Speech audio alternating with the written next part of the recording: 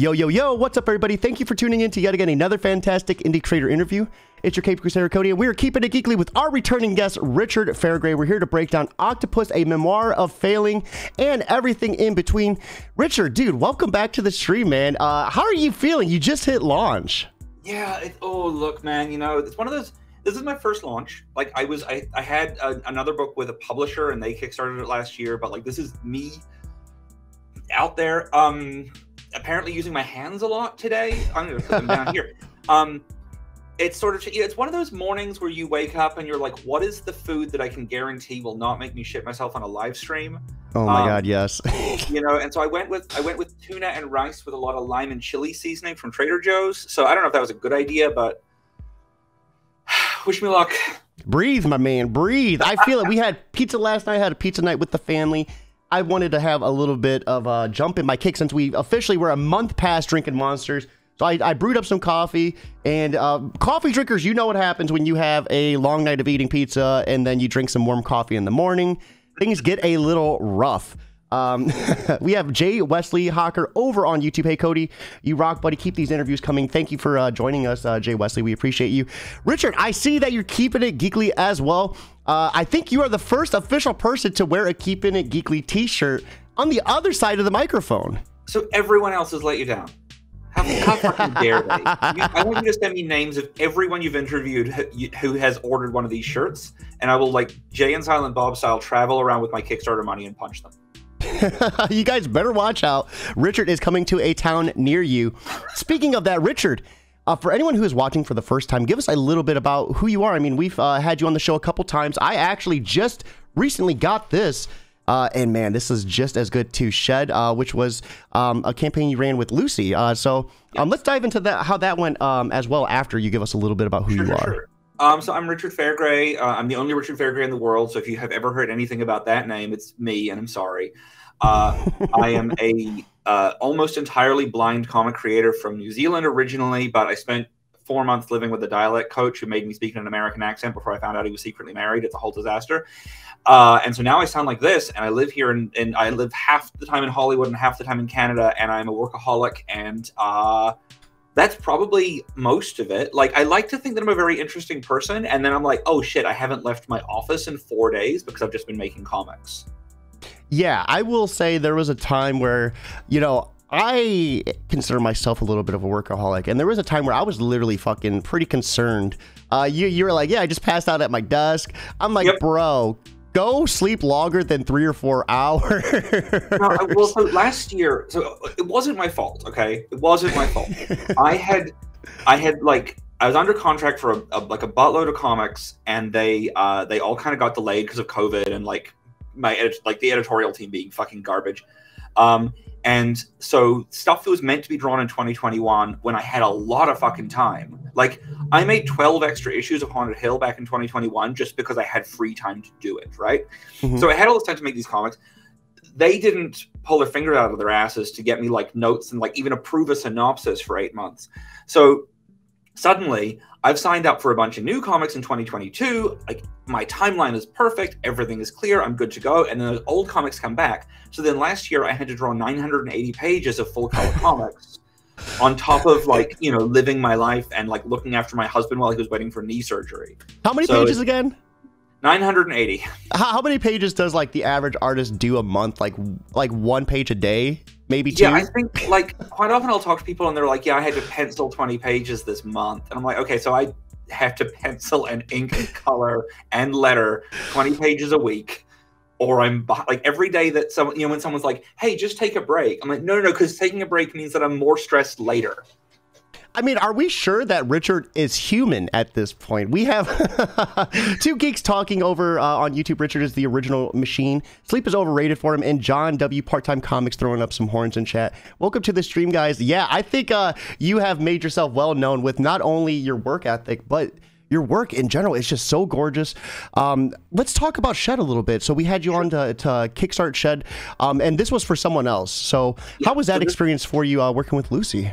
Uh, well, so Lucy and I have uh, written a bunch of stuff together. We've been like basically best friends for years. We used to actually have a podcast called uh, "In the Kitchen at the Party with the Wine," where the idea was that that's where the best conversations always have when you get away from the music and you drink wine with a stranger. And so we tried to recreate that over the phone, and it was a disaster.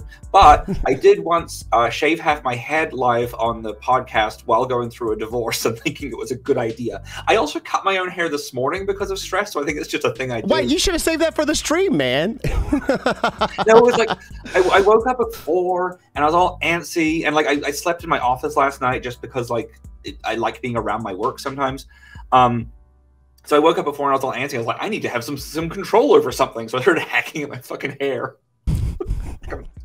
like, a, maniac. Um, that dude, that happens though. That happens. So I mean, stressing out to the max. Uh, this Kickstarter, man. This is your first Kickstarter. Uh, what like how how are you feeling like leading the week leading up to it? I mean, it's it's exciting. Um, I I actually I flew down to Hollywood. Um, so that because I was like, look, I said to my husband, I'm going to be unbearable for the next week. You don't want me around. I'm gonna go stay at my place in Hollywood for a bit and like do all my and also like I got to use the excuse of like, well, the dogs will make a lot of noise when I'm doing interviews, which is bullshit. They're very quiet dogs. Um, but I was just like, I got to get out of here because I will be unfucking bearable. Mm-hmm. Um, but no, no, Lucy and I have known each other for years, and then uh, we started writing together. And uh, back at the beginning of the pandemic, uh, we'd like come up with this thing called Kitchen Cats, and it was about these old women who collected cat figurines that were giveaways with cookies, and like this, it became like this mafia story in a small town, and we are like, this is garbage, and we decided to swap the cats out for my favorite fish. I'll tell that story later if you like. Uh, I think I tell it all the fucking time. You have some crazy stories with fishes too, man. it's, it's, it's that same one, but I wanted to draw him into everything because he'd just been in Haunted Hill. Um, I'm actually going to put the real story of that into Haunted Hill as well, so you will get to see someone fuck the fish finally. um, anyway, so it just changed and changed and changed, and it ended up being this like weird atmospheric horror about a small town and this like woman in her 20s who's decided to uh, like settle because she thinks she should be looking for like the happy ending to her life. Mm-hmm. Um, but you know, even if it's happy, it's still an ending, and that's never something you should be seeking, right? And uh, I didn't know what was going to happen, and I thought like I think the pandemic was going to go on for like probably four or five years. I'm going to be the person who doesn't do. I'm not going to bake any bread. I'm not going to like learn how to play an instrument. I'm not going to sing on my balcony. I'm going to make more comics than anybody. And when we come out of this thing, I'm just going to like boom out the gate, 30 graphic novels, right? And uh, so I started reaching out to like smaller publishers because I was like, I don't need like the money from these ones. This is my like background noise when when everyone's out of work kind of shit. Mm-hmm. Um, so I'm going to go to small publishers and say, you guys have good street cred. Can you get this book out there for me? No one knows me in this space. I'm like in the bookstore market. I'm doing kid stuff all the time. Let me do something like that I actually care about. Uh, and so I got I found Blue Fox Comics. They loved the pitch. So we went with them, and then they kickstarted it last year. It actually ended up taking longer to finish because Lucy got an amazing job at Netflix, and so she was like a lot busier. Wow. Um, and because it was well she she like moved to london a month before the pandemic started and so she was like she got there she followed harry styles on tour for a little bit um, went to a bunch of Christmas markets, got an amazing job at Disney. Pandemic kicks in, job disappears. She's like, doesn't have a place to live yet. Absolute panic, feeling miserable. Oh, no. I'm like, let's write a book. Because obviously, like, my solution to everything is let's write a book. Uh, and then, you know, her life got significantly better. Uh, and so, like, the book got delayed and other things, but we, we, we made it. I finished it like beginning of last year, put that out. And like, I had never done Kickstarter. I mean, like I've been in anthologies and stuff. Uh, if you've mm-hmm. read the story about the guy eating corn on the toilet uh, in Nightmare Theater, that's me. Um, uh, it's the most terrifying thing I can imagine is someone taking a dump and eating corn at the same time because the, the butter on your hands on that toilet paper is going to be a nightmare. And you'll never you use know the little corn holders. There's little uh, like little prongs you put on each end. Yes, but They're shaped like corn. Okay, okay, but have you ever eaten a cob of corn and not gotten butter all over your hands? Because if you have, you're not putting enough butter on your corn. I, I, I, like. Are you holding the, the cob like this, Richard? Come on. no, but like, like you're holding it, and then you like think of something else, so you tip it upwards, and it all just gooshes on you. um. So anyway, so I'm the I'm the corn cob toilet guy. Um, and um, yeah, but I'd never done a Kickstarter, so it was like very stressful. Um, but like it was very stressful in that way. That was totally detached from me because they took care of it. They had this inbuilt audience, and I looked at it and I was like, actually this could work. I could do Mhm. this. And at the time, I was um, I was going through some like difficult things with with my publisher, as I mentioned before, and it was kind of a nightmare, uh, and still is ongoing. Uh, but and I'm I probably shouldn't say things, but fuck it, I overshare. Uh, I'm still stuck drawing uh, one more book for them. Um, but you know, it's fine. I'm gonna Sorkin it and leave it on a big fucking cliffhanger. Um, anyway, uh, they've approved the script, but I can't do shit. So I uh, I had been like I, I made I made Octopus like back in 2020, like right. I'd actually made the first issue uh, 2018, right before I started work on Black Sand Beach, and I had this one week off, so I made this issue. And I didn't really know what it was going to be. It actually started out as like a one-page thing. That first picture of the tentacle on the comic page talking about my life, and then I was like, I'm going to tell little stories, and it's going to be weird little tableaus. And then it turned into this story of this one night, and it got very like granular into what actually happened that night because it was like me making a new best friend, basically, um, Mhm. while I was in the state of turmoil. Uh, and then I just I put it on hold for a while. Did Black Sand Beach, Cardboardia, did Blastosaurus, did every other fucking thing. And then at the very beginning of the pandemic, or just before it, actually, like it's when when COVID was like bubbling up, and everyone was like, "This is not going to be anything." And then I went to the grocery store, and everything was gone, and I was like, "Oh, this is gonna be fucking terrifying, actually, because there's no wine." no So- toilet paper either. Th- no, this is before the toilet paper disappeared. Oh. This is this is we were it was like uh ray and i that's my husband we were at my friend nicole's place uh we walked from my place to her place stopped at the grocery store on the way bought some wine we were there for like maybe three hours while we were at nicole's place it got announced that the first case had been found in the us and we went back to the grocery store and the whole place was empty and there was like an hour long queue for us to get more wine and i was like this is going to be real this is going to be fucking terrifying Mhm. um, did make the good decision to go to Universal Studios the next day because we knew it would be empty, and it was, but also it just made us very uncomfortable. So we left. Um, also, we just we bought season passes like a week before. and so oh that was- Jesus Christ! Yeah, I mean, look, I'm an adult. I now own my own keyboard, and I can go to Universal Studios whenever I want. Like, I don't even have to win Double Dare, which is quite exciting.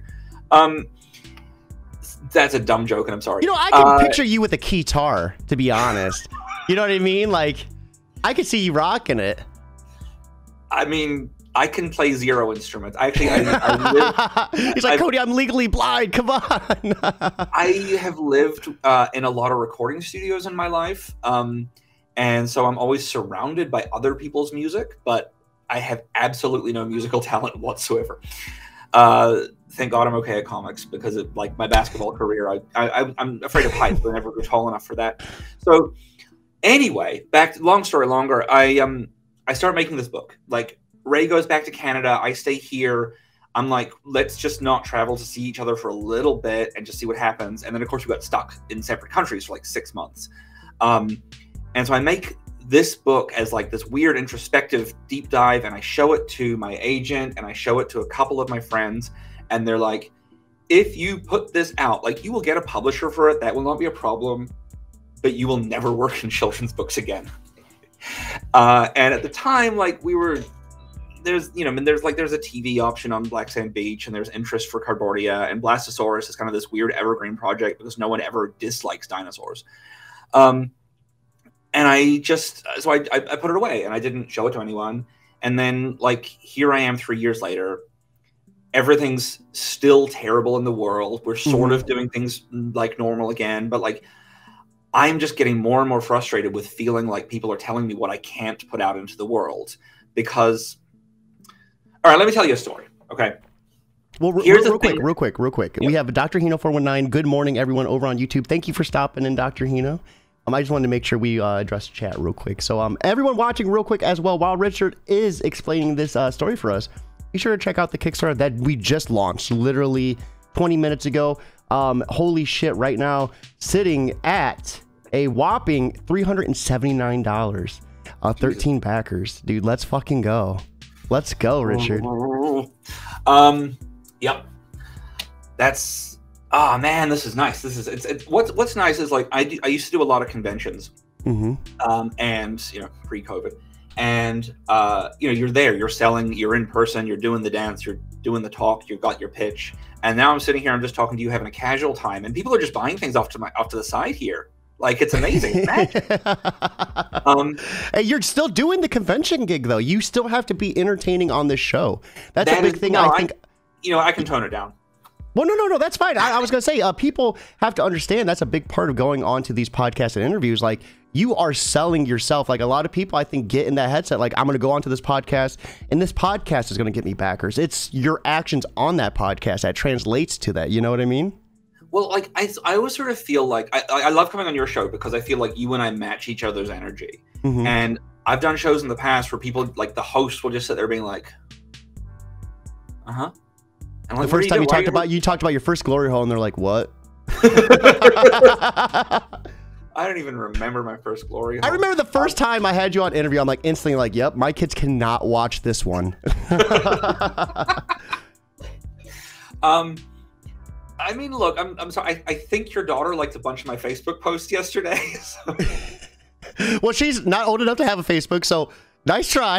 okay, so someone else with the same last name as you then, maybe. oh, probably my mom. So my mom oh. is my mom is a my and, and, mom, if you're watching, she probably is on Facebook. I love you to death. My biggest supporter in whatever endeavor I do. Uh, so if I'm usually sharing anything, she is right there with me. Um, much okay. love to her. Right. That's because it genuinely worried me. I was like, is Cody's daughter seeing my these garbage? poppers? um. So anyway, uh, here's here's what happened. Okay, so last year I'm doing like a lot of promo for Haunted Hill and a lot of promo for the Send Richard a Hot Dog campaign, which obviously made me real butt sick for days. Um, and then I'm doing this. I'm doing this interview, and normally, like right before the interview, people tell me which book it's for, right? Or I check. And right before we went, uh, before I asked, right before we went live, the guy said, "Oh, by the way, I'm I really love Haunted Hill. I read it and it's fantastic." And I was like, "Thank you so much." I guess we're talking about Haunted Hill then. So, first question comes up, and he says, "So a lot of this, uh, a lot of the locations in your book are based on real places. What's your favorite?" And I said, "Oh, well, Slamtown, where Eva works, is based on Slammer, the sex club over on Beverly, and uh, their big claim to fame. It's kind of prison themed, like a lot of slings and bars and things. But there's their big claim to fame is they have the longest succatorium in Southern California."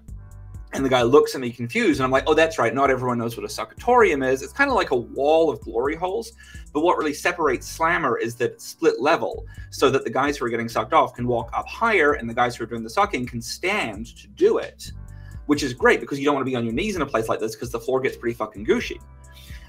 And so I say all this, and he looks at me and says, "Okay, but in Cardboardia, the book we're here to talk about today, there's also some real places." I also fucked in those too.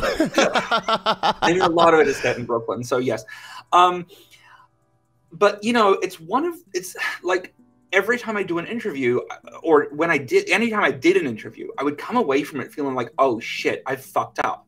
I said too much. I was too me for that public space. And you know, and you've you've read Octopus, you know, like my my whole thing's like I feel uncomfortable like about how much space I take up, about how loud I am, about how people are going to react to me after I've gone. I feel like I'm like I, have I've said this very openly before. Like I make the amount of work I do to apologize for existing, right? Mm-hmm. And and like then I'm putting myself in these situations where I'm constantly doing publicity for children's books and making myself feel like I'm I'm I'm a bad person for doing it. And then when I also have like a publisher who's like you know telling me which tweets that I should be deleting. Um, and by the way, the tweet that okay, this is the best fucking tweet of my life. I will never tweet better than this.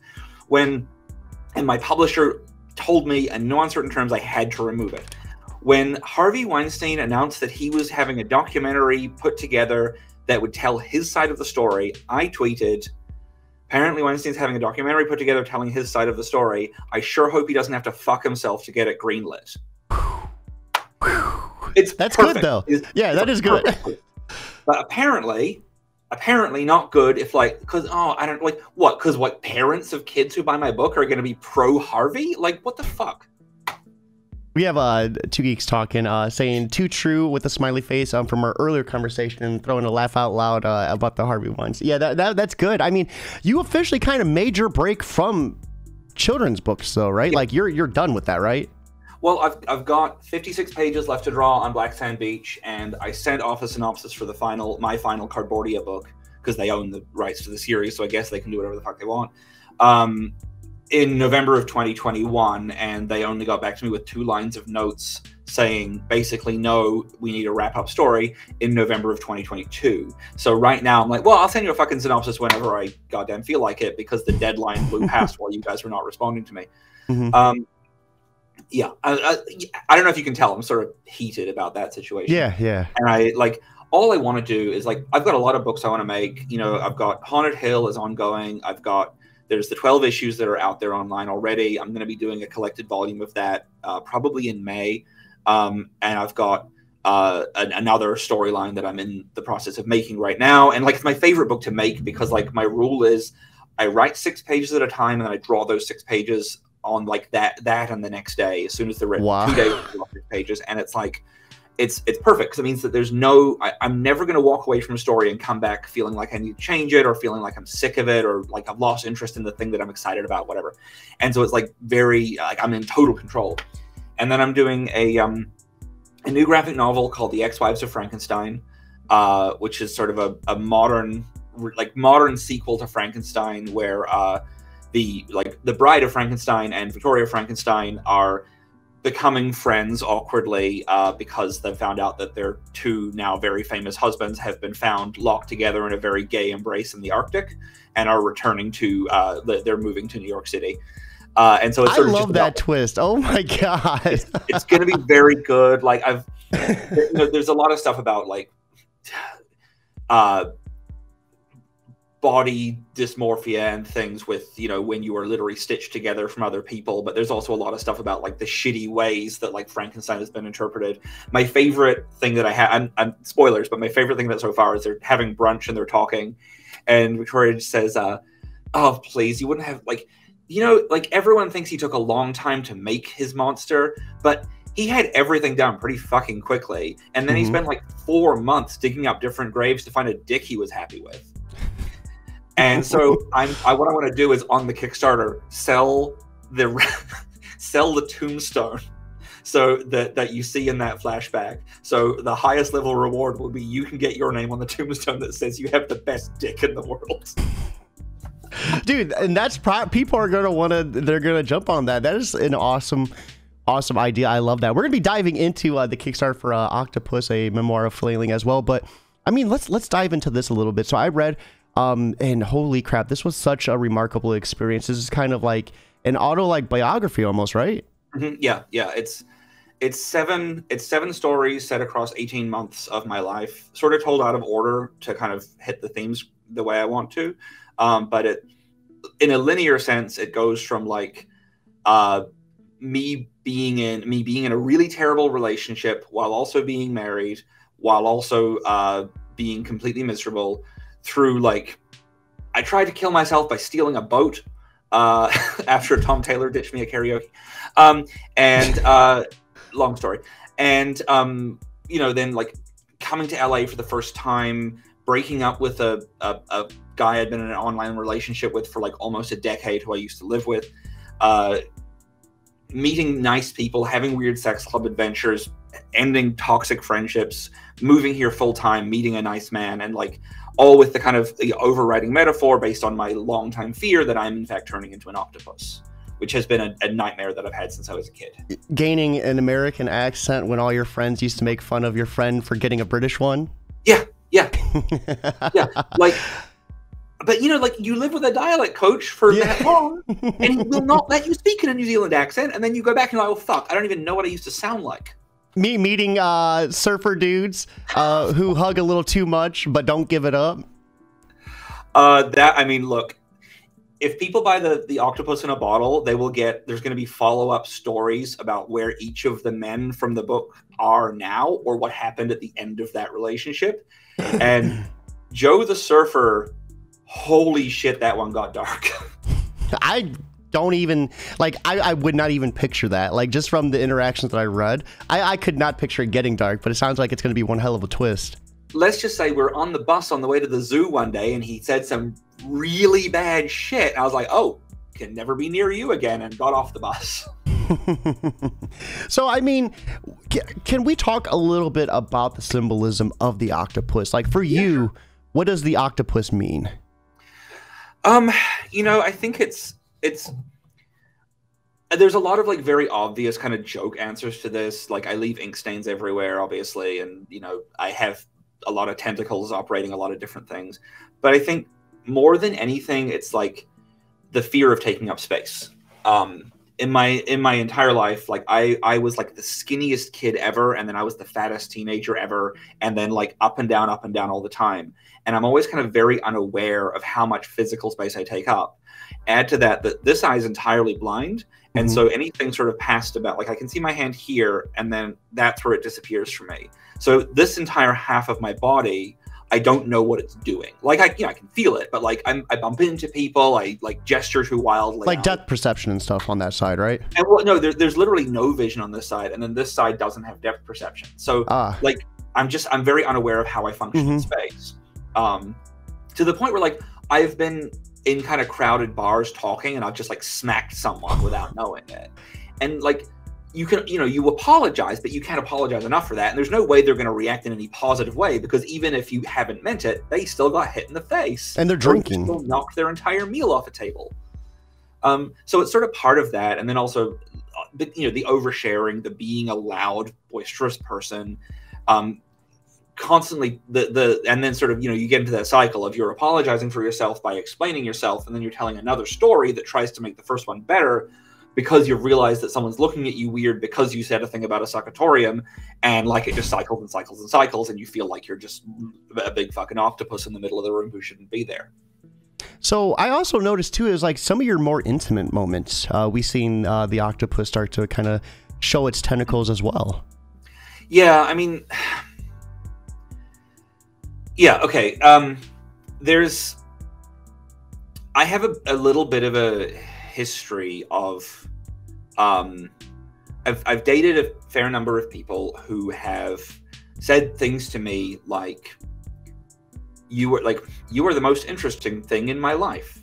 And that is terrifying to me. I never want to be the most interesting person in the room. I'm always seeking people who are more interesting than me so i'm not bored and when someone tells me that it makes me want to run away but it also makes me think if i leave this person will be bored, which is my worst fear.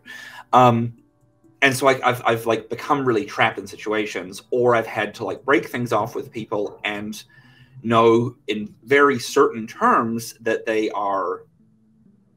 I'm not going to say destroyed, like, but like they are ruined, like wrecked by it. Ruined. That's that bad word. Mm-hmm. They're like wrecked by it for, you know, probably not forever, obviously, but like for that short period of any breakup that anyone has but I don't see them again, so I have to assume that they're like that forever after. And I like I don't ever want to do that to a person, whether I like them or not. Mm-hmm. Um, I I got a call from there's the guy I mentioned in the book, who I was in the horribly abusive relationship with uh, for four years, who I moved in with when he got sick, and then uh, broke up with uh, because of reasons.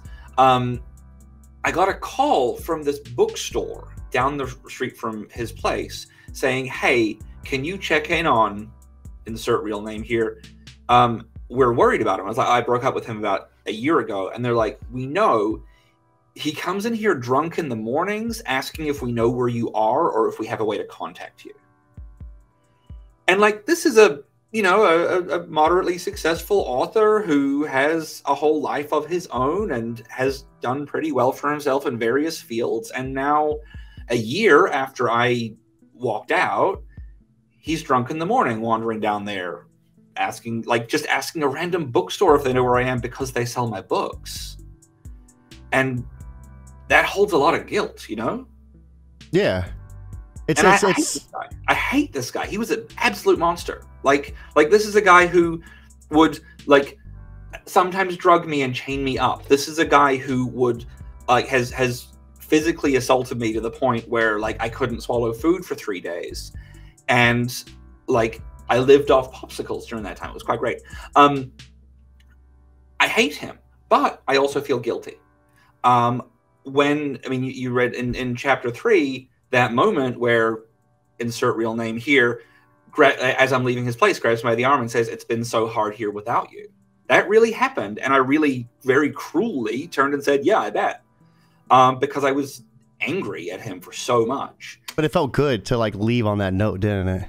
it I mean, and you know, again, Octopus in a Bottle will have the follow up of how we reconnected, and then it all went disastrously wrong again because I, I look, I can never say no to a bad idea.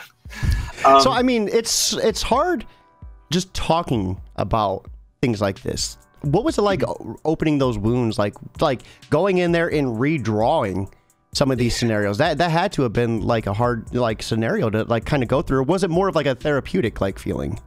Um, there were parts of it that were really that were really fun. Honestly, um, the uh, the the story about coming to LA and the actually the first story about Indra and I on our night out, like, like those were really fun to do. And even the story about Ray that sort of ends the book um, was really nice because I was like Ray and I were separated by COVID at that point, and mm-hmm. it was just really nice to kind of just spend a lot of time on his face, you know.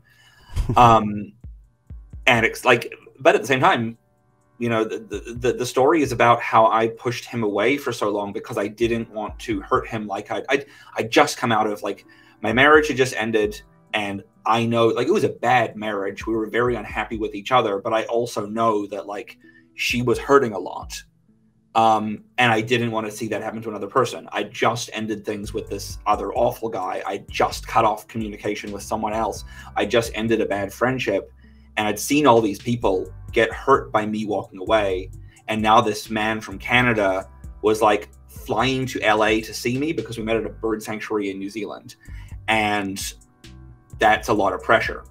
And so, like, it was so nice to be drawing him and this happy time, these three days we spent together. And mm-hmm. I felt so guilty because now we were apart.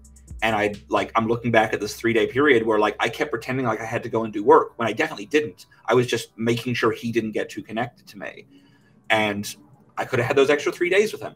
Now, like obviously we're reunited now, everything's great, and I'm fine with it. But like, yeah, that was hard. That like those things were hard. The stuff about insert name here who used to co-write Blastosaurus with me, that was easy. Um, I was I was angry enough at him still because he'd wasted a lot of my time. Um, that I I had fun with that, and I also think you know it's one of those things where it was such a funny night um, if you're if, if you can if you can detach from it it was a really funny night. It was mm-hmm. incredibly awkward and terrible and very sad but by that point i was so detached from that relationship that i couldn't find it anything other than delightful. I would love I really, to watch that movie. I really really love to how you don't put his name in the book not because you don't want people to know who he is but you don't want his name on your book. Mm-hmm. that was like chef kiss. Thank you. Chef Kiss. Another um, thing I I, uh, I really love to, and I'm gonna sound so like dumb, so feel free to correct my terminology. Like the uh, the void space on the side of the interiors, mm-hmm. like how you left that, and uh, like and and it, it, goes even deeper. I mean, there's one part where you pull a snippet from like uh, how to raise a kid after um, a divorce and there's like the snippet in the page and there's hair on the tape and i loved i looked for those details and i loved that you included them man. It, it felt like such a this was such a surreal experience reading this. Well i can tell you i can tell i can reveal one thing. Um, the hair on the tape was not on purpose. But i realized it's like you weren't supposed off, to see that. It could have it could have lifted some ink off so i didn't want to do it. So mm-hmm. i left it in there i was like fuck it like it felt like it was the perfect touch though. It like felt so real because like I, I have two cats so anytime i'm putting tape on something there's always a hair from either one of my kids or, or one of the cats. Well i have i have this like as like jack donaghy would describe it rich person hair that you really it just like you cannot pull it out but every now and again like it'll just a piece will fall. Um the the void space around it like all of like all the gutter measurements and stuff was very much um when i drew it i I didn't really have a, you know, like obviously normally when you scan things, you try and remove that stuff, but I was doing everything in this wishy-washy grayscale with these markers and I didn't really know how I could remove it. And when I tried to alter it on the, I scanned the first page and tried to alter it and things, and it would just start looking like a shitty photocopy, and I didn't want that. And so the whole book is actually photographed instead of scanned.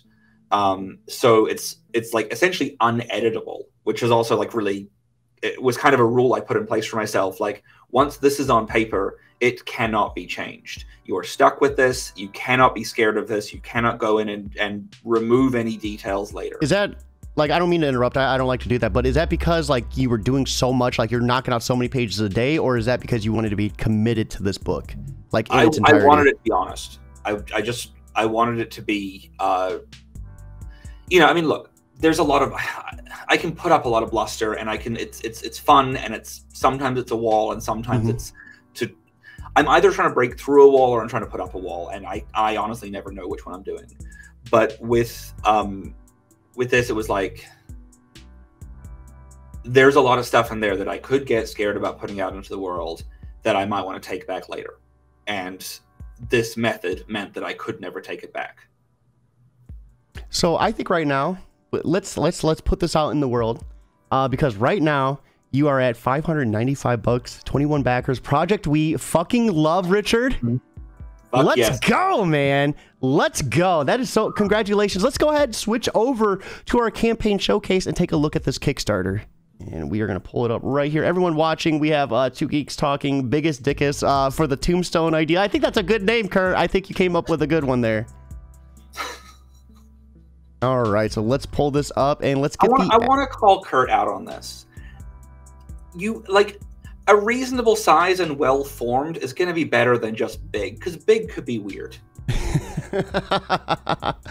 so we are looking at Octopus, a memoir of flailing, the subjectively true story of trying not to turn into an octopus, distracting myself with sex clubs, drinking, and messy relationships. Currently at $595 of $1,496, uh, 21 backers, and 31 days left to go. Already a third over goal. Uh, wow, it just jumped up again. Dude, Jesus. congratulations, man. How are you feeling? We just literally went live like 40 minutes ago. I know this is this is kind of insane. Um, it's also that like it's it's so weird because like because I live in uh well because I live here and Canada and I set up the campaign in Canada. Um, it's a weird that's a weird goal to have. Mhm. um, yeah, because for me it's two thousand Canadian dollars. So you're seeing different numbers than me. So this is this is man, this is good. Uh, everyone watching, right there is the link. Um, you guys know the drill. Be sure to check this out with us. If you're unable to back it, simply putting it on Twitter, Facebook, anywhere you can is 100% free. And getting as many eyes on this project as possible is what we're trying to do. So let's go ahead and scroll down and check out uh, some more of these covers and interiors. Uh, so was this like a dog uh, in your life? Because I mean, this is basically, I you know the words I'm looking for. It's like an autobiography, but one that's drawn. You know, like you drew it. Like the Yeah. way the interiors fall out, it's almost like you sat there and wrote it out by hand, um, but you were just drawing it instead. Yeah, I mean, like there is, um, I think there is a typed up script for uh, a couple of the issues, but for the most part, it's like notes and layouts in a notebook somewhere, and the dialogue is kind of is, is mostly from memory. You know, I, I have an Mhm. incredible memory. I can basically remember everything anyone's ever said to me, and so I like I, I know that these things are are accurate, which is probably a little uncomfortable. Um, you know, I've removed some names from the book. the people who come across badly, I remove their names. hmm Or the And for- people I thought were likely to sue me, I remove their names. For everyone that's watching, this is what I mean by the interiors. It's like you would almost be looking at these pages in hand um, before you sent these off to like the printer. Like I, I just I love, you know, at the top you have everything written out like. And um, that, that that sequence, I don't know if it's uh, on the Kickstarter, but the, the the tape, it was just it was it was perfect, man. I was wondering how you did it, and the and you said you took uh, pictures. Like, was that different for you to turn taking pictures like into the comic? Well, so I have this. I'm going to get really nerdy. I have this amazing scanner. Um, it's the Epson Workforce 7610. And if you use it on a 32 bit operating system, you can use Epson Scan 1, not Epson Scan 2. And it has a section for photo in there. And Mhm. essentially, the scanner takes a picture with a different color of light. So you get this incredible depth um, that is like. But I, I've always thought it was kind of impossible to get. I've never seen anyone else kind of achieve it. Although the uh, Illumon, the the uh, Sean Daly's thing, he seems to get it with watercolor, which very few people manage to do. So that that that dude's like a master of levels and control from his scans. Um, but what I did is it's so I scanned it as a document and then scanned it as a photograph, and it's it, like I want to be really clear. It's not like I'm setting it to look like a photograph. It actually it's the process of the same light as as a photograph would do. Okay. And then they're multiplied through each other, so I can get a little bit of crispness in the text um, without losing any of the of the um like the depth in those colors because you know like when you see anything scanned you always lose some stuff mm-hmm. the hardest part was actually this issue the first time i scanned it uh it there was like a little bit of moisture on the scanner and every single page had a big shadow in the middle of it. And so i had to come back and like it, it, took like hours of like pressing them flat and like just trying over and over again. And it's such a slow process because i have to use like a, a macbook air from 2013 is the is the newest computer i own that will will function with this program. And i mm-hmm. can't use dropbox with it and i it's just a nightmare. Um, so i had to just kind of do trial and error over and over again to make this look right i really love to like right here where this would normally be just a clean line uh, mm-hmm. you know, you kept the uh, the void space, so like you see like kind of how you colored outside uh, into that too. Um, this is such an awesome experience, and I don't think I've really heard of many comics being made in that way. Like, what inspired you to take the picture with the photocopy like that?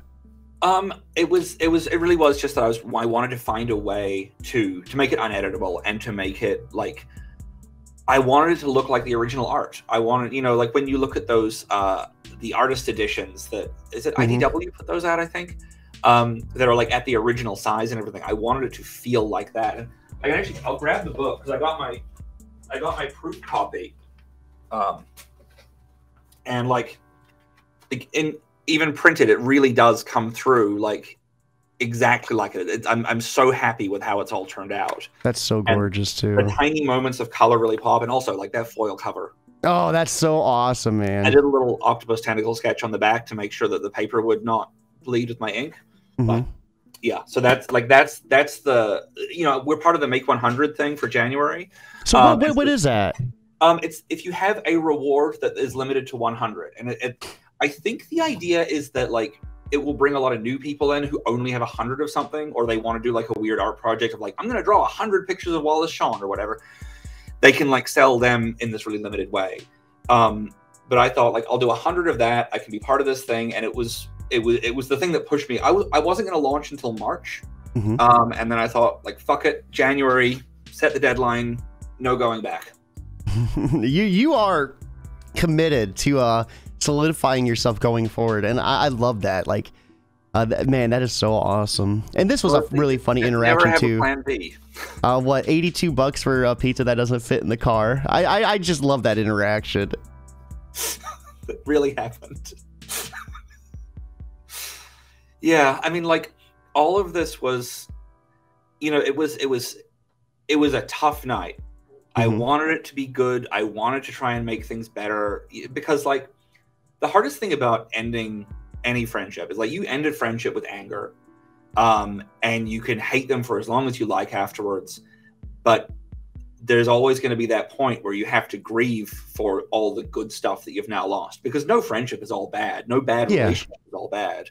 Um, you know i have i have some former friends who have done like truly awful things. I found out stuff about them that is horrifying and i, I like i'm like that's not the person i knew um, and I will never speak to those people again. Uh, I've i have got a pretty hard line of, of, of, stuff that if people do it, they're fucking gone. Um, but that doesn't mean that I'm not really sad for those like fun nights we spent hanging out, drinking, and and like shooting the shit and mm-hmm. smoking mm-hmm. cigars until four in the morning. So, um, with these interiors, uh, you know, what what you do everything traditionally, but like, what is some of your style? Like, this almost looks like it's like a little bit of watercoloring, like for the trees and like the staircases. It's uh, it's these. Um, oh, open. It's these here, the dual brush pens. Um, that give like a real nice sloppy thing, and you can kind of mix them a little bit. They have a mixing pen in them, so it's just like when you're a kid and you have those color change markers. Okay, no, those are cool. um, and then I use um, uh, a Fudenosuke uh, hard tip brush pen, which is like dirt cheap, gives mm-hmm. you the best control of line. You can kind of mimic what a what a brush pen, like a traditional like Pentel pocket thing would do, um, but like it's almost like using a, a, a, felt tip pen instead the way it feels and it's it's my favorite and it's it's incredibly quick uh, and they're like dirt cheap like I, I think it's like on Amazon you can get a pack of like 15 for like 25 bucks or something. Yeah, that's um, not bad at all. Yeah, I'll I'll, I'll go through um, about I can do about 10 pages with one pen. So I, I will I will buy I'll buy a pack every month and and work my way through them. We have uh, Antoine Nito over on Twitch stopping to say, Yay, so excited for this, Richard. Okay, I need to get like the cool kids and get my Keep It in Geekly shirt ASAP. Thank you, Richard. Already doing already doing the Lord's work. I'm your billboard. no, that is so awesome. So let's check out some of these rewards. So uh, we have the digital only. Uh, and uh, that's a really cheap price for only $10 Canadian, $8 USD. Um, and then octopus in a bottle for twenty dollars Canadian, uh, fifteen USD. Give us a little bit about what this is. All right, pull me up on the screen. Let me show you. He's like, I've been prepared for this. okay, so for anyone who, for any straight people out there, uh, why are you watching me? No. Um, I, I, was at a I was at a, a, Rufus Wainwright concert and Ben Folds was opening, and uh, Ben Folds finished, and a lot of the crowd left because they were there for him. And Rufus Wainwright got up and he goes, All right, now that the straight people are gone, let's have some music. um, anyway, uh, so poppers are these little bad boys here. Here's a here's a wrapped up one. Uh, it's a nice little bottle of liquid uh, that you sniff, and it gives you a sense of absolute euphoria and insane horniness uh, and also relaxes flat muscle tissue in certain areas. so how many sniffs per bottle, though? Like, how long does that stuff last for? Um, because like I would almost imagine like sniffing a liquid, like you could get some use out of that, right? Or do you do you actually like snort it up your nose? No, no, no, you know, you'll you'll burn the shit out of yourself. I actually got fright while I was doing it. I have a burn in the like in my chest a little bit that kind of sometimes bleeds um, from like years ago. Uh, a bottle will, if you keep it refrigerated, a bottle can last you two to three weeks before it kind of starts going stale. If you keep that lid real tight, uh, you're kind of you're you're better off. Um, and obviously, the more times you open it, the faster it'll go off. So if you mm-hmm. have like a big night, you might want to just throw that bottle away in the morning. And the worst part about it is you only know that it's going bad when it gives you a really fucking bad headache from a sniff. Anyway, so obviously, poppers feature pretty heavily in the book. They're on the cover of the special edition. There's like enough scenes of me getting some fingers up my ass with a bottle under my nose. Um, don't worry, you never see me naked. You just hear about it happen with the person behind me. Um, I, I, I, said to someone, I said to someone recently that uh, my my butthole is like a renewable resource because it seems to give people energy. Um, and uh, my friend once described me as uh, my butthole has been a camping ground for villains. So Goku yeah. just like getting all the energy for the spirit bomb from Richard's butthole. we have uh, Antoine Nito uh, over on Twitch. Uh, Richard, please don't demonstrate, uh, and that the word, the reward is the most Richard thing he's ever seen. Uh, how many sniffs per bottle is actually the best response I ever heard from a straight person about what poppers are. so, so here's here's what you get. You get this little bottle. There's no poppers in it. Obviously, I'm not going to send you something to fuck with. But what I am going to send you is a thing with this beautiful little label, nice collectible bottle, and you open it up, and instead you get this, you get a QR code so that you can get uh, the extended edition of Octopus with an extra story, the original four page piece that I did for a, a memoir that I never completed called Dick. Um, and uh, the what else do you get? Oh, and then yeah, so like extended stuff, essays about all of the people and where they ended up afterwards, and then 200 pages of uh, back catalog of my other weird comics that aren't on my website, mm-hmm. including the horniest fuck Blastosaurus story, where another co-writer of mine fucks him uh, because he's a Tricerabottom. Um, so if you, if you love Blastosaurus and you want to you want to see him get railed by a famous voice actor, that's he said to me, "Hey Richard, I'd really like to be in Blastosaurus. I was like, "I can make that happen, buddy." I love the fact that you just swapped out top and bottom. It's like perfect. so we have the book, um, 144 pages, seven stories, 18 months of his life condensed into turning points. This is an outstanding uh, price for just 23 bucks or 18 dollars USD. You can get the early bird special on this. Um, that you know, I had to jump on that too. Such an outstanding price. Um, and then that foil cover is just as gorgeous. So this is one of only a hundred copies. Yep. And All let's see. This is going to be uh, 45 uh, Canadian or 34 USD. So everything signed and numbered as well. And that is a gorgeous purple. Uh, show it. Put put that up again. Yeah, here it is. Look at yeah, that. that is gorgeous. I, I, was so I was so glad that the proof arrived before the campaign, so I could like make sure. yeah. So that is a I, I do I, I'm a sucker for anything purple, and that foil is just like perfect. We have the sketch cover at 75 uh, Canadian or 57 USD. Uh, and so this is going to be just anything you want, or are you going to take uh, It's- like Anything. It's an octopus tentacle holding anything you want, and like okay, the things I'm gonna say no to are like if someone get comes to me and is like, "Can I see an octopus tentacle holding a swastika?" I'm gonna be like, "No, you can't. Obviously not." But if you come to me and you're like, "Can I see an octopus tentacle holding a real nice dick?" I'm gonna be like, "Of course, absolutely. I'm very good at hell drawing yeah. do you do you got recommendations? Please send photos.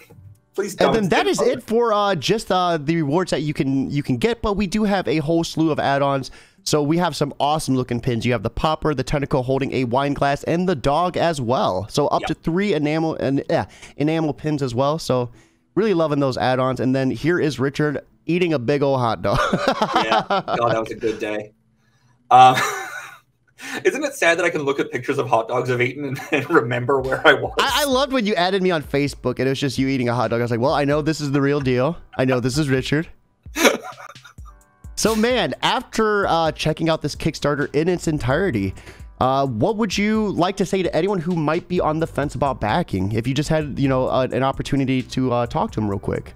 like look i am i'm terrified of this um i had planned to go to kickstarter with the first volume of haunted hill and the whole process of just doing kickstarter was what was scaring me the most and so i have this this motto in life that if you're going to do something if you're scared to do something just do something scarier faster and then you'll kind of the, the thing you really want to do will be easy by comparison this book is like the most personal thing I've ever done. Obviously, it's a memoir; it kind of has to be. But like, I am pouring myself onto the page. When I said that people told me never to publish it, that was after the first three issues that they saw, Mhm. and I'd made the decision not to ever show it to anyone. And so there's there is there is no filter on the other four chapters. You know, it, it becomes even rawer than it was. Um, last year, my, one of my best friends in the world, uh, Jim Craft, who I co-written a children's book with, um, he was like a real like I, I describe him as an unapologetic dirtbag and the kindest man I've ever known. And I just love that about a children's author. Like, you're like, he, he's a dirtbag. He writes books for kids, though. He's, you know, they're all right, but like like we we met we met on on the on the Java chat on silverdaddies.com and like I did a lot of weird shit on webcams with him.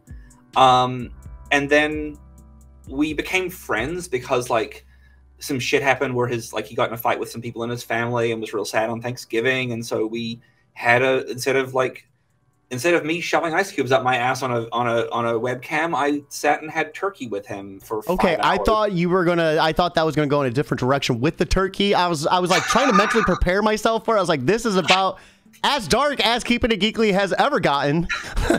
Um, no, no.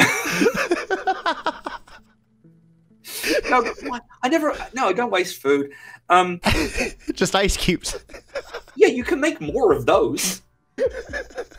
Um. Anyway, so you know, he, like he was, he was like a dirty man. Like he was a real, but he was, he was so proud of it. hmm Um, no, well, like he wasn't showing off about it. He just never filtered anything. You know, my I'm actually really good friends with his grandson now, and uh, he would always say, like, like Jim would always say to me, "Oh, don't tell my grandson this story." And I, I was like, "But you have told him that story at Christmas dinner. Like, this is the man who once he was." At Christmas dinner with the family, with and his ex-wife was there, and she was being like surly towards him, and he just said, "Oh, she's just angry because I gave her herpes." But who knows where herpes come from? He was a the smartest man I know and the filthiest man I know, and I fucking loved him so much. Um, and he'd lived this amazing life where he'd been like friends with Andy Warhol and was like head of acquisitions for an art museum and traveled all over the world having these adventures, and then ended up in a small town in upstate New York living in a haunted post office. And we became friends, and I went and stayed with him several times. And anyway, uh, he he died last year, and uh, he right before he died, he told me that he felt like he'd never achieved the things he wanted to achieve, and he'd never he'd, he'd put too many things in the way. And I was like, "You've never put anything in the way. You've always done and said exactly what you are." He's like, "No, I've always been myself. I just never pushed to get myself ahead." And I was like, "I don't want to feel that way." So uh, I'm I put out Octopus, and I started a newsletter where every week I tell a true story from my life that I've been told not to tell, uh, and I'm this you know this isn't I'm not I'm not bragging about going to sex clubs on senior discount day. I'm not bragging about meeting a wizard behind a dumpster. Like I, I'm, I just, I'm like I said, I make work to apologize for existing, and I keep making things in the hope that like it's it's a it's a it's a tentacle that I'm throwing out into the world. That if someone sees it and they like it, if someone feels understood by it, you know, I read a lot of things. I, I read a lot growing up, and I rarely ever read anything that made me feel like the author would understand me. And I want, you know, there's there's seven billion of us. There's got to be other weirdos like me. Um, and even if they're even if you're not as gross as me, as weird as me, as whatever as me, uh, I you're as human as me, and I think that you will enjoy this book. And also, that is beautiful, dude. It's, it's my 270 something book at this point. I'm probably pretty good at making them. That was such a beautiful, and this is 271 uh, interviews. So what a good number. Oh, nice. What, what a good number.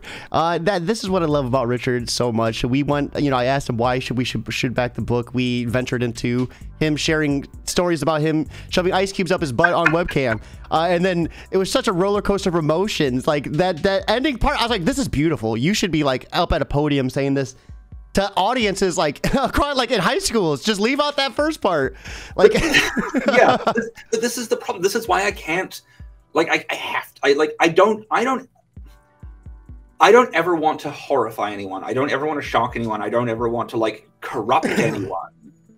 I just also want people to know that if they are whatever they are, especially mm-hmm. like, look, there is a real move in like, um, in queer culture to make things family friendly, acceptable. You know, like we we want to, we all have this need to like remain hidden. Like like terrible things are happening in the world right now. People's rights are being stripped away from them. Like I was going to say, especially in the queer community, but a lot of it in the queer community. There's other, obviously, other people are having terrible times, but there is, you know, within my community, there is a lot of people who want to shelter themselves and say, we want the picket fence, we want the marriage, we want the kids, we want the the life, we want to be, we, we want to buy into that, and that's fine. Like no tea, no shade, do your thing um, or we want to be the family friendly gays who can go to a parade that's sponsored by an airline or a bank. And that doesn't make me feel comfortable. I do not want to buy into rainbow capitalism or buying gray Skittles because colors don't matter. I want to be like, look, this, this, the Pride Parade was a protest march. The thing that differentiates gay people from straight people, to really simplify it there, sorry, but like, what the you know historically when people were discussing gay the thing the only difference was the sex. The thing that we were demonized for was the sex. Like there are a lot of straight men out there who have never had anything out their butthole and they're missing out on some very fun sex because they're terrified it'll make them gay. And it all comes from misogyny because like being gay gets associated with being feminine because you're getting fucked. Like it's it's absolute bullshit and it, it makes me very angry. Um and I think it's it's right to be angry about it. It's right, and it's right yeah. to be like, look, if we're going to talk about this, we're going to talk about it on the terms that that on the terms of the things we were oppressed for, not on the terms of how we want to fit into society. See, and this is exactly what I fucking mean. Now we're talking about rights and everything. Like, this has been just such a roller coaster. Uh, Two Geeks Talking. Welcome to Richard's TED Talk. Absolutely. And I think you're 100% right with that. Um, everyone watching, once again, right here is the link. Be sure to check it out. Richard, you're killing it right now, man.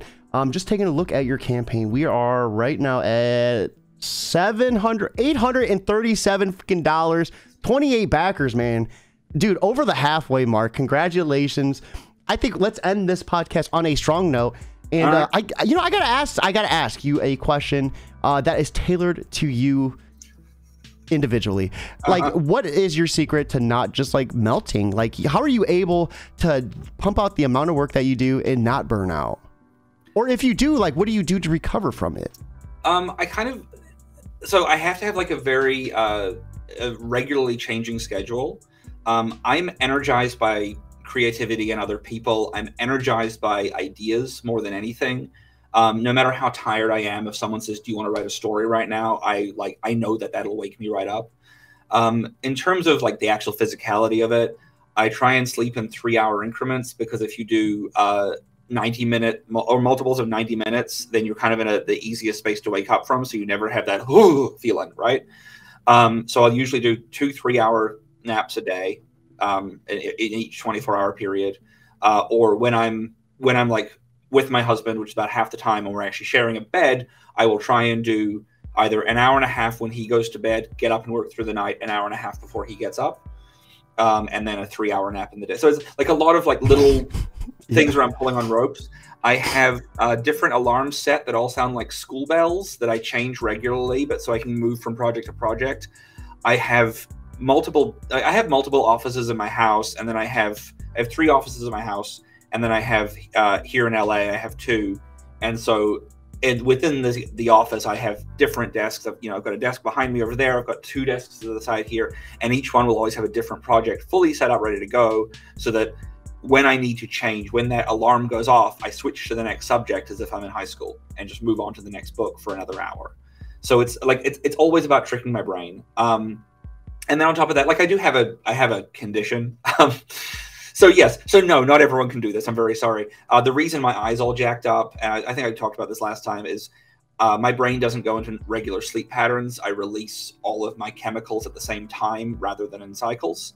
Giggity. Um, and so I'm always in fight or flight mode essentially. So when I do sleep, it's a very light sleep, and then I'm just back to it. So it's physical rest, no mental rest, and yeah, I need like five and a half hours, and you're like, I was trying to do that because that that's a thing. Like, I, I forgot what it's called, but sleeping in increments like that is a thing. You can oh, train your body to do. Polyphasic sleep, where yes. you do like twenty minutes. Well, no, no, it's like it's like you sleep a couple hours here, and then you wait. You you're up for like six hours, and you sleep another three, and then you're up for six hours. Yeah, and you, it's a very strict schedule you have to stay yeah. on. But yeah, there's, there's different. Sorry to sorry to cut you off. There's different versions, but there's one which I really like. I did it for about a month, where you only sleep in 20 minute increments, and you do it with your feet raised, so you get more blood to your head. And if you can get a sleep apnea mask, if you don't have sleep apnea, get get one of these machines. Get a CPAP machine. They're amazing. Floods you with oxygen while you're sleeping, so you feel like you've had a lot more rest. I would probably end up punching everyone I seen if I only slept for 20 minutes at a time. Like I, I need to hit that deep REM sleep for whatever reason. Oh man, now, here's, I, here's, one thing, here's one thing I will say: if you if you share an office with someone and they sometimes sleep there and they have their CPAP machine there, and then you're like, I've never tried one of those, and so then you start using it, and then they move away, and then you message them to be like, I really miss your CPAP machine, and then they get mad at you because they're like, that goes right in your fucking nose. I was like, yeah, you, Just you've had me. You you've had me in your nose before. Deal with it. it's like using someone's toothbrush, Richard. no, that is awesome. Like, like you're not tasting it. Fair point. Fair point. Yeah. Everyone watching, man, this has been such an awesome chat. We're ending on 800. You never gone upside down like Spider-Man kiss, but nose to nose, and just breathe back, sneeze back and forth with someone. I have done some interesting things, but I think we'll have to save that for the chat after the podcast. With that being said, guys, it is time for us to wrap up. It has been a lovely Tuesday afternoon. Right here is the link. Be sure to back this awesome book today and get on those early bird specials while you can. Richard, thank you for swinging by. It's always an awesome thank time you. hanging out with you. Everyone else watching, I hope you have a fantastic day. But most importantly, guys, keep it geekly.